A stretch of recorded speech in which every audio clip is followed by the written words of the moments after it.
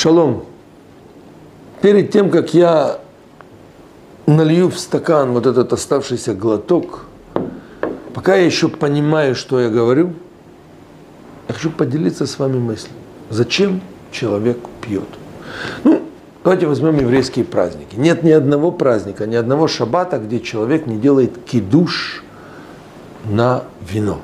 Многие делают кидуш на виски, на водку. Короче говоря, мы видим, что есть некая потребность быть связанным с алкоголем. Есть люди, которые вообще не пьют, но, но те, которые пьют, причем пытаются э, каким-то образом объяснить или оправдать потом свое поведение после алкоголя, они говорят, ну это ж праздник, или там это шаббат. Дамы и господа, есть мысль, есть разум.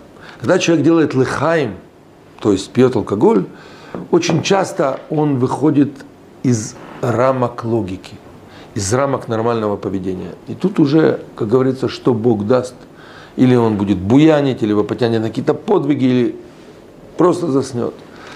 И здесь я прочитал интересную идею, которую э, выдвигает Равин Один Штальзенц, великий Равин, в книге «Суть еврейских праздников». Он говорит, что так же, как в еврейском законе намерение мыслей играет очень важную роль во время исполнения заповеди. Когда человек имел в виду вот сделать так, это очень сильный аргумент, когда он это делает.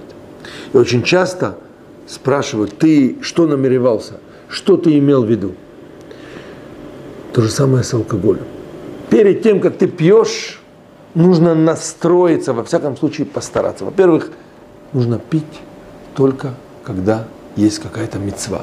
Свадьба, бармицва, э, шаббат. И вот впереди праздник, который называется Пурим. Важнейший продукт, который есть, это алкоголь. Более того, написано, что ты должен напиться так, чтобы не отличить Амана от Мордыхая. Короче, почитайте, очень интересные вещи. Вот я задаю вопрос. Вот пока еще не вот этот глоток я не вылил, задаю себе вопрос, как настроиться, чтобы этот алкоголь направил наши неадекватные действия в хорошее русло. И вот, пользуясь советом Равина Штайнзальца, я говорю себе, я сейчас выйду за рамки рассудка. Я освобожусь от ограничений, которые раньше меня просто сковывали.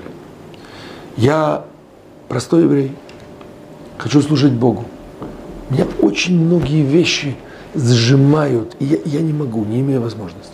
Но вот сейчас, попадая на Пурим, где есть святость, где Тора требует от нас, Тора, подняться над логикой. Ведь обратите внимание, победа евреев над врагами, она была выше логики.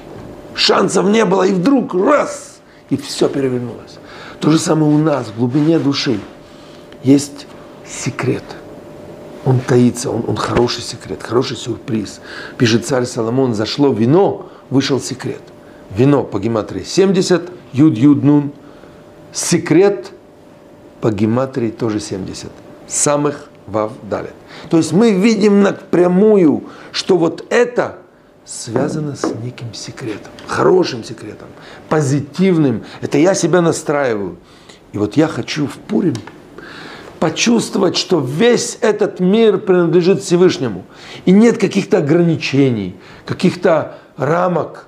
Открыть вещи, до которых я не в силах добраться в определенные дни, в будние дни.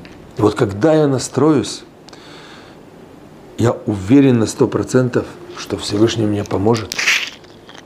И я сделаю этот глоток, будучи уверенным в Пурим, что я выполняю заповедь. Пурим, Самех, уважаемые наши зрители.